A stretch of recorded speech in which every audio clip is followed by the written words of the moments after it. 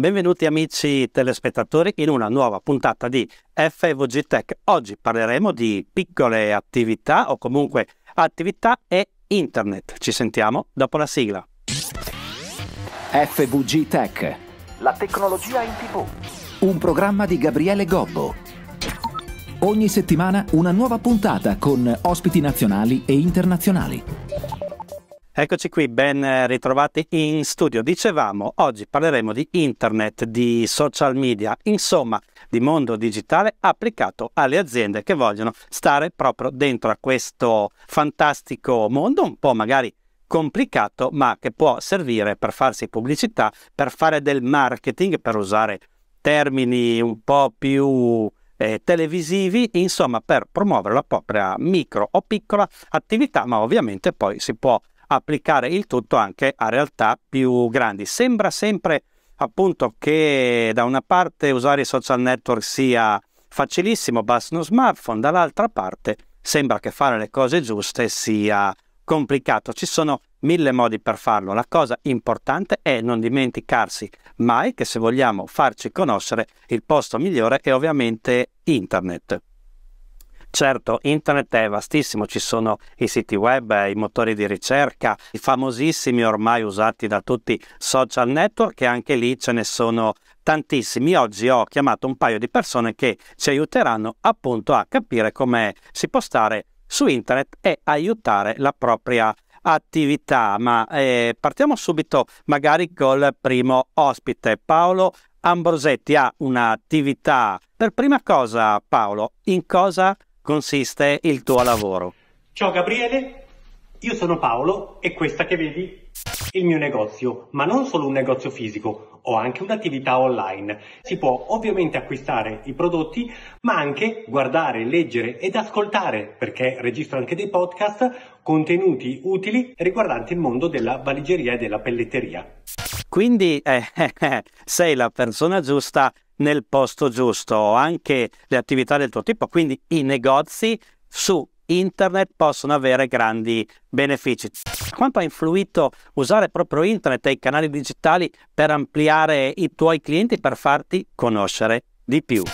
Questa è una domanda davvero interessante. Quanto ha influito? Tantissimo. Io ho iniziato con l'e-commerce circa dieci anni fa, sono stato forse uno dei precursori, eh, dato che ho iniziato prestissimo ad affiancare, oltre allo shop online, anche delle pagine social, prima Facebook, successivamente Instagram ed ora TikTok, e devo dirti che vendere online è un insieme di tutti questi grandi contenitori. Infatti spesso e volentieri i clienti arrivano o in maniera organica dal sito internet oppure strategicamente coinvolti dalle pagine social. Però se non si ha un sito e-commerce non si riesce, come dici, si dice da noi in uh, Avarese e Lombardia, a quagliare, ad avere un po' di ciccia, non si riesce a vendere. Infatti tantissime volte dai canali social veniamo contattati nelle chat e quindi rimandare il cliente con un link al sito internet è molto più semplice per arrivare alla conclusione di una vendita, piuttosto che continuare la discussione nella chat mandando foto, video, per carità, anche quello funziona,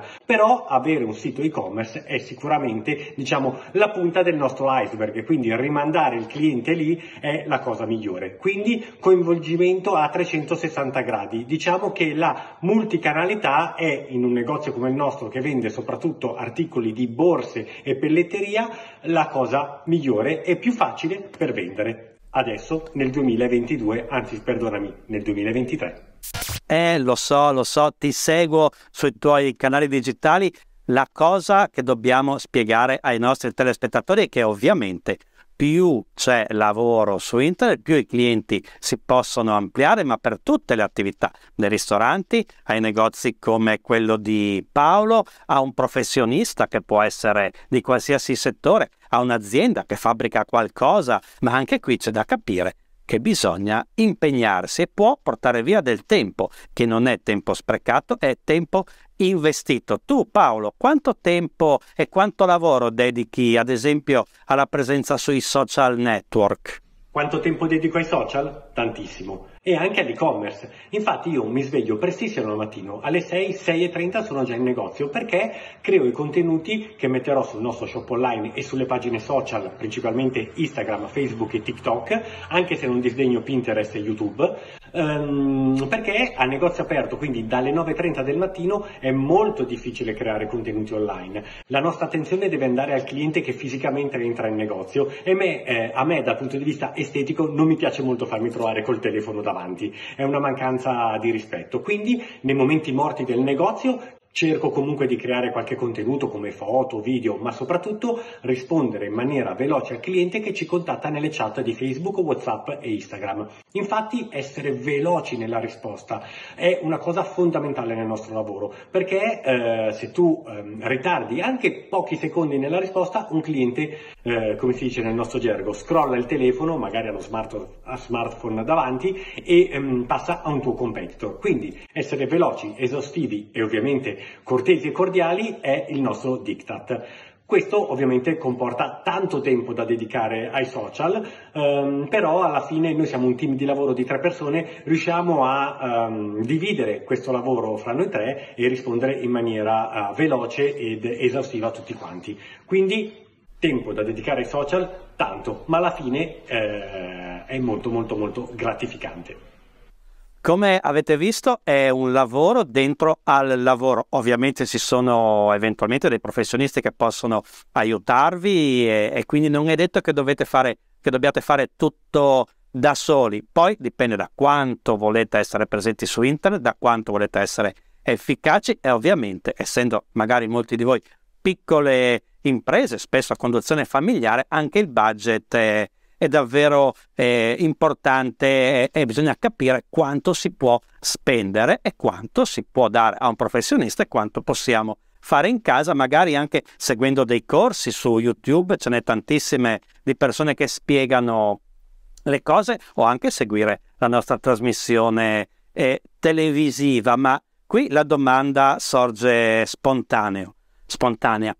Ma i testi, perché ehm, abbiamo i video, abbiamo abbiamo le immagini, abbiamo le foto, ma sui social network e anche sul sito web è importantissimo avere dei testi scritti bene. Quindi io ho qui ospite con me, ce l'abbiamo eh, in collegamento audio, Bruna Picchi. Si occupa di fare la copywriter e altre cose nel mondo digitale. Perché sono importanti i testi ben fatti soprattutto ragionati in questo caso per i siti web e per internet in generale? Ciao Gabriele, i testi sono forme di comunicazione e la comunicazione, lo sappiamo, è essenziale in ogni contesto in cui viviamo, tra amici, in famiglia, tra colleghi e ovviamente anche tra clienti. E la comunicazione ha un obiettivo, veicola un messaggio in modo chiaro e preferibilmente inequivocabile. Farlo sembra semplice, ma non lo è e nel contesto digitale è anche più complicato perché per lo più si comunica in forma scritta e quindi non siamo supportati né dalla voce né dalla gestualità. Quindi il pericolo di generare malintesi è concreto. Quando poi parliamo di internet e di siti web nello specifico, i testi vanno pensati ad hoc, perché nel contesto digitale gli obiettivi di comunicazione sono più ambiziosi, quindi più complessi. Se escludiamo i blog puri, i siti web appartengono per lo più ad attività imprenditoriali o professionali, quindi i testi devono esprimere valori aziendali, identità professionale, qualità dei servizi e così via.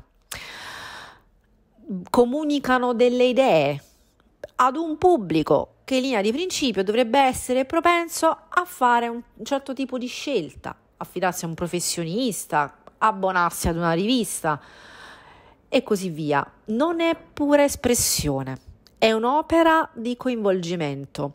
Le idee vanno definite, ma vanno anche inquadrate in una cornice che deve essere attraente. Cioè bisogna fare storytelling, richiamare sensazioni, suggestioni, visioni. Quindi è un'attività che va gestita da, da professionisti, perché altrimenti il rischio è quello di fare un buco nell'acqua, cioè di esprimersi ma non entrare in contatto con il pubblico. Ecco, davvero informazioni utilissime da sapere, ma e quindi abbiamo parlato di siti web eh, con Paolo, insomma lui ha un e-commerce, sta su internet, ma oggi serve ancora un sito web per l'attività o, o, o magari basta stare solo sui social network che in teoria sono gratis l'iscrizione, ma poi se vogliamo farli rendere tra il lavoro che dobbiamo metterci, eventualmente la pubblicità che dobbiamo comprare, insomma dire al giorno d'oggi che sono gratis è un po' errato, ma insomma un sito web serve ancora? Sito web e social network sono canali differenti. Entrambi sono utili per chi desidera promuoversi online e uno non esclude gli altri. In base alla mia esperienza, la convinzione che si possa avere solo sito web e non pagine social oppure viceversa è frutto di scarsa conoscenza degli strumenti digitali in generale perché una conoscenza più approfondita dice che ogni strumento ha le sue peculiarità, funziona quindi in un certo modo e serve al raggiungimento di specifici obiettivi. Il sito web è un biglietto da visita per tutti, un biglietto da visita in versione estesa, quindi tale da permettere a tutti di percorrere, cioè tutti gli utenti, di percorrere un insieme di strade, la via verso la pagina contattami, la via verso la pagina chi sono e così via. L'organizzazione dei contenuti, la loro struttura e anche estensione è qualcosa che si valuta con i professionisti digitali rispetto al proprio tipo di attività e ai propri obiettivi. Quindi i siti web non sono tutti uguali, perché non tutti gli ambiti di business sono uguali, però tutti indistintamente rappresentano quel punto di contatto tra aziende e professionisti e un pubblico che per lo più naviga ed effettua ricerche sui motori di ricerca, appunto. Detto in altri termini, quando si sceglie di avere una pagina Facebook, per fare un esempio, e si preferisce di non creare il proprio sito web, si sta però scegliendo esplicitamente di escludere una parte di pubblico dalla propria rete. Quel pubblico che magari non utilizza Facebook, però normalmente è presente su Google perché naviga, fa ricerche. A quel punto bisognerebbe chiederselo, ma il gioco vale veramente la candela? E ancora informazioni utilissime per iniziare, magari se non l'avete ancora fatto, ad avere un sito web o a stare sui social network in base a quello che potete decidere in base alla vostra attività, alla tipologia di cose che vendete o di servizi che offrite, ma quindi a questo punto magari diamo due consigli imperdibili per la presenza online di un'attività eh, generica, insomma. Vai, un paio di consigli. Per una presenza online che generi relazioni in un qualche modo proficue, credo che prima di tutto bisogna partire dalla conoscenza, cioè da come funziona il web. Immagino una piramide e alla base di questa piramide c'è la consapevolezza su come funzionano i canali digitali e sugli obiettivi che potenzialmente possiamo raggiungere utilizzandoli. Al di sopra di questo primo tassello c'è il secondo che è altrettanto importante, è la strategia, cioè la visione d'insieme. Banale, ma non lo è, perché quando decidiamo di essere presenti online ci rendiamo protagonisti di una storia scritta, ma da noi Sarebbe bene sapere fin da subito quale deve essere l'intreccio e soprattutto quale deve essere l'epilogo. L'intreccio si costruisce scegliendo quegli strumenti che pensiamo ci possono condurre all'epilogo che abbiamo immaginato. Ovviamente garanzie assolute non ne abbiamo, perché la strategia è perfettibile, non è perfetta, si perfeziona, va ottimizzata. Però partire in quarta senza la visione d'insieme è più rischioso, fa perdere tempo e anche budget. Quindi in sintesi bisogna avere le idee molto chiare su quello che si vuole ottenere, quale immagine si vuole dare della propria realtà come azienda, come professionista. Da qui poi discende una strategia di comunicazione che va integrando tutti gli strumenti che riteniamo più utili alla nostra causa.